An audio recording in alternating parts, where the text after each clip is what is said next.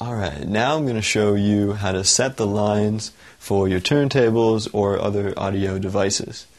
I just showed you that I plugged this turntable into Phono 1.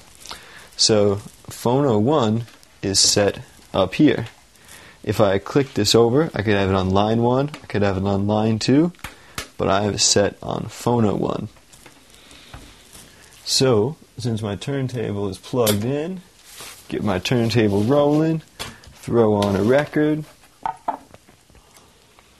I have my crossfader over onto this side, which controls uh, the, the, this side of it. If I flip the switch, now it's on line one. We don't hear anything. Phono one, we hear it.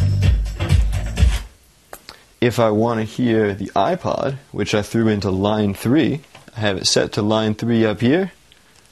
I hit play on the iPod. We've got it happening.